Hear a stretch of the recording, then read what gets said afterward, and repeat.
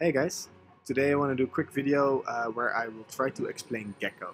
Uh, Gekko has been very misunderstood over the years, um, so I'm doing a lot of work to try to clear that up a little bit for you guys. So in this video I will, it, it will be going over the core concepts, but I will keep it non-technical. Uh, just so you can understand what you can do with Gekko uh, and Gekko Plus. Uh, I'll be doing that by showcasing the new Gekko UI I'm building. So this will be the new interface uh, for Gekko that you will find hopefully very soon uh, if you download the open source version or on my uh, service that I'm building called Gekko Plus. Uh, so check the description for the latest status because right now I'm developing it, but by the time that you watch this video, it might be already developed or something like that. Uh, okay, so I'll be talking about automated trading using Gekko. Uh, so just a quick quick overview. Automated trading means that you do trading, which is buying something and then selling it again, uh, automatically using some kind of a program or a bot. Um, and, and, Gekko can, can do that for you. However, there are multiple forms of, of automated trading. Uh, so there is uh, arbitrage, and arbitrage has a lot of different forms. like you can do straight up arbitrage. You can do um, triangular arbitrage. You can do statistical arbitrage. Um, I've been doing multiple forms of arbitrage over the last few years. Uh, in the link in the description, you can find a story of a big arbitrage system I was operating. Uh, so I'm familiar with that space.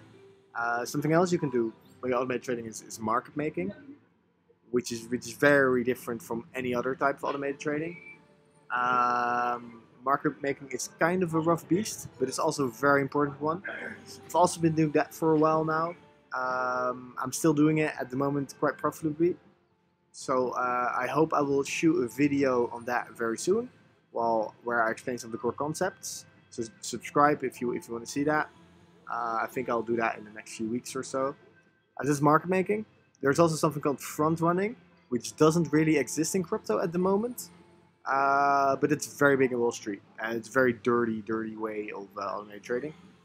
Uh, and then there is trend following, which is using some kind of uh, um, uh, a model where you try to predict that we're now in, a, in an uptrend, like Bitcoin is going to a, a bull run or it's going all the way to the moon. Uh, and we know that now, that in the future it will be higher. So it will be an, an uptrend toward that. So if you buy now, and then we can sell later when it's higher, and then we can make some profit. So that's trend following, and that's the type of automated trading that Gekko can do.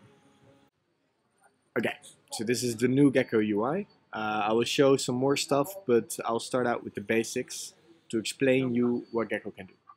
Um, so you can see one line of the screen, the blue line, which is called market. So this is the, the Bitcoin value, like this specific market shows Bitcoin dollar over the course of July and a few days of August, basically one month. Um, and as you can see, the price has gone up, but not very smoothly. It has gone up, it has gone down. Um, so imagine for a second that you own one Bitcoin. Uh, then this line represents two things. One, the price of Bitcoin, and two, the, the value of your portfolio. So if you have one Bitcoin, it, the value of portfolio goes up and down together with the price of Bitcoin. Um, so that's what a lot of people do. They buy some Bitcoin and they just write it out right? Like the holders. Um, but what instead what you can do with Gekko is you can try to um, leverage the fact that it goes up as well as it goes down. And if you're able to predict this a little bit, you can make even more money. Uh, like in this month, for example, the price went up from uh, just over six and a half thousand to almost seven and a half thousand. It's a few hundred dollars up, which is great if you're just holding it. However, if you're able to leverage these these these up uphill moments uh, then you can make, make even more. Uh, and also with considerably less risk since uh, you don't have to always hold Bitcoin. So the idea here is that if you have this one Bitcoin, then whenever you think the price is going down, you sell it and then you hold on to the dollars. And then if the price goes down, you're able to buy back in at a lower rate. And you didn't actually lose the money because while Bitcoin went down, you were holding on to dollars. And the same for if the price goes up. So for example, over here in the 12th of July, uh, the price has gone up in just a few days, up until like the 20th or so of July, uh, quite drastically. Like from below six and a half thousand to almost seven and a half thousand. So it's over a thousand bucks in, in, a few days. and if you were to have been able to predict this, you could have made all that money, right? So if you had one Bitcoin, you could basically have made a thousand dollars. But then when it went down, so for example, from here, like before that, you could have sold, uh, meaning uh, you, you, made more money with less risk, uh, assuming you're able to predict these trends. So how Gekko does it, Gekko can automatically trade. So you can automatically swap your one Bitcoin in and out of dollars. Uh, and every time you think the Bitcoin price will go up, it swaps into Bitcoin. It will ride out the trend going up. And whenever it thinks Bitcoin will go down, it swaps back into dollar and you're not affected. Um, so here you can see um, on the screen now I've plotted a few circles and they represent trades. So this is for this is a sample strategy, this is a historical simulation uh, of how Gekko were to have performed over the month of July. Uh, if you were to have traded using this specific strategy. This was uh, the simple MACD strategy, which tries a very, very simple uh, trend prediction uh, uh, model. Um, and in this specific example, you can see that it would have were to have bought here, it would have sold there, uh, which means from this point on, you're into dollars. And over here, it would have bought again, which is great, right? Because Bitcoin got gone down, but it, it were to have bought only after it went down. This is still a bit vague because you just see a line with a bunch of circles. So in the next example, uh, we can see the concept in Gekko called round trips. Um, so, so here we just see a blue line with a bunch of circles, which indicates buys and sells. And over here we can see uh, boxes as well. So these boxes are called round trips. Uh, so in Gekko, basically the idea is that you're always in dollars. In the case of dollar Bitcoin, you're always holding on to dollars unless you think the price will go up. That's when you buy in. Uh, and for that duration of time, you will be holding Bitcoin and your, your the value of portfolio will move together with Bitcoin. And once you've once you, uh, your model thinks it doesn't go up anymore, it's actually gonna revert and sell. Uh, so you're not in any risk. So you can see that here, right? So here you can see there's a buy uh, at this price, 6,596. It would have been a sell at 6,700. Uh, and then if you move over here, you can see this is called round trip zero, uh, the first one. Computers count from zero. I will probably change that, but in the video it's zero. Uh, so you can see the summary, the same buy, the same sell, and that's one half percent of profit uh, that we were to have made in that round trip. So if we look over here, there's another round trip. Like it would have sold a, a bought over here, sold over there, uh, which is yet again a, a major, major profit increase of 15%. Uh, so this is great. Uh, and then there's even another round trip which is also profitable uh, of 10%. Um, yeah, and the idea of Gekko is that you have these round trips. If they're centered towards the, the, the times when Bitcoin goes, goes up or whatever the trading goes up, then, then you're in the money. Uh, so what I just explained so far is I explain, uh, explained the concept of uh, market, which is the, the price of the market of whatever you're trading. Uh, Gekko can buy and sell, and these buys and sells are organized into round trips. And you hope to make more money with that.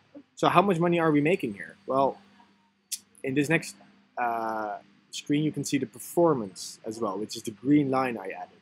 So the performance is if you had this one Bitcoin in the beginning, how, how much money do you have now? Uh, because with Bitcoin, it, the money of your portfolio only goes up, measured in dollar or measured in whatever base currency of the market, as soon as you're in a round trip. It can go up and down, by the way, right? If you, if you have a terrible round trip, then uh, your prices of your portfolio will go down just as easily. Uh, however, if you're not in a round trip price goes down, like in this this part over here, you can see the blue line going down because the blue is the market. The green line doesn't because we're currently holding on to dollars and nothing has changed with our dollars measured in dollars. Um, yeah, so that's the green line. So as you can see here, because we have three profitable strategies, every time the green line, it ends up a little higher. So the people who bought Bitcoin uh, and are just holding it out in the hope that Bitcoin goes to the moon, they're now stuck with less money. Here we can see a, a result, uh, box that shows some, some, some key metrics. So imagine you had one Bitcoin in the beginning. This was the price of Bitcoin in the beginning, um, which is the same as here. So this shows the market, the market start and the market end. So the market started at 6.6k, ended at 7.6k. Uh, it's not displayed in this graph because this graph only renders uh, specific candles, whereas this shows everything. That's that's why there is a, a small discrepancy there. Uh, I will try to make this more clear. Uh, it's a bit rough this UI. Um, and as you can see, the start balance was the same as this one Bitcoin. However, we're able to we're ending with a lot more dollars, uh, just because we're able to only leverage we're only uh, riding the the upticks, but not suffering the downticks. Uh, so the market went up 15%, whereas our portfolio, our one Bitcoin that we had, went up 27%, almost double. Uh, so this, of course, is an example of a successful strategy. Gekko also has, uh, like, you can also have bad luck, or you can have a terrible strategy. Uh, but this is just to, to, to showcase the, the idea of, of what you should be aiming towards. Um, so let's take this to the extreme. Um, so in, imagine that you have a time machine. This is just hypothetically. This is not you, you cannot build a Gekko strategy like this. But just to showcase, uh, if you take the, the, core concept of round trips and, and trades and buy sells, and you take them to the extreme, and if you were to have a time machine that you can uh, every day you can check the price, jump in a time machine, go back one day. Uh, if you can do that every day, and then only trade whether the price in the future has gone up or not, um, then you can make a lot of money. Obviously, if you have a time machine. So if you have a time machine, just to be sure, this is all hypothetical. You cannot make this much money with Gekko unless you're really, really, really lucky. This is in, in one month, you would have like more than doubled your money. Uh, if you're able to predict every little uptick of the price. Uh, and you can read the assumptions here at the bottom um, about the costs that this simulation uh, uh took into consideration. Uh, but yeah, it would have traded 300 times. It's almost 10 times a day, only leveraging the little upticks that happen every day naturally in the markets. Um, so this is kind of like the, the, the extreme.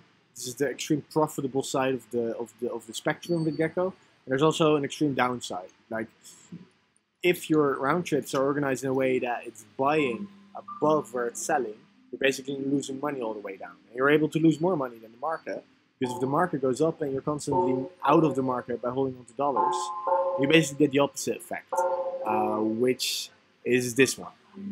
So uh, this is the worst hypothetical situation. Uh, you could trade using trend following, using a tool like Gekko. Um, it would basically trade every time the price goes down, which is a lot. Uh, and then there's also costs, so you're actually losing even more. Uh, and this, this one would have traded, this simulation would have traded uh, 400 and 47 times over the course of a month, uh, and you're losing money all the way. So the idea is that this is the this is one side of the spectrum, one extreme side. This is the other extreme side. Um, however, you um, it won't be either of those. Unfortunately, it will be somewhere in the middle, and you're aiming for your portfolio to go up more than the market, um, or to be in the market with less risk. Okay, so if we, we take a take a step back from these extremes, we have the spectrum with the hypothetical minimum. The most amount of money you can lose and the hypothetical most amount of money you can make. The Gekko will fall somewhere in the middle. So where do you want to be on the spectrum uh, in regards to how much money can you make and how much risk are you willing to take?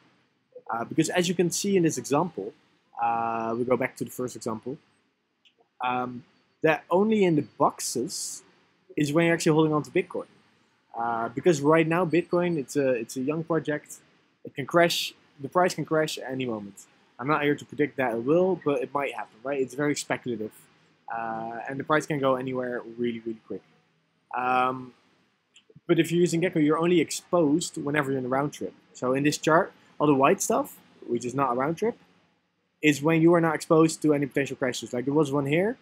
This is a terrible example because it went, up again a few minutes later, but or a few hours later.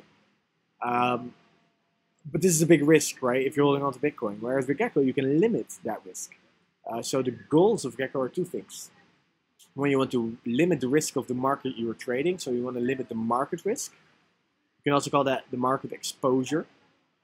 Uh, to only to only profit from the upside but not suffer the downside, specifically crashes. Uh, and then the other thing you want to do is you want to increase your money. You want to make you want to make profit over the market right? So if you go back and we, we look at the, the result box here, you can see that all these metrics are aimed at seeing how much money did you make, the green line, And then how did that compare to the blue line, which is a general market, which is general holders, right? That, that that's a good base benchmark to compare yourself to. Uh, did you make or, or lose more money than if I would just were to buy and hold? Okay, so the final thing I wanted to talk about is a strategy. Um, so Gekko comes out with all these buy and sell signals in this pattern, and as you can imagine, and as we have seen in this extreme example and this other extreme example, um, when you buy and sell is uh, a big influence in whether you're going to make money or not. So how does that work in Gekko?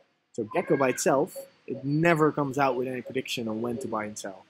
With Gekko, there's something called strategy, which is your, your algorithm or your alpha, as it's called in financial markets. Um, and this is the, the piece, this, this is the part that decides whether you should buy or sell. And that's going to determine all your profit. Um, so Gekko is a, a, little bit technical tool right now.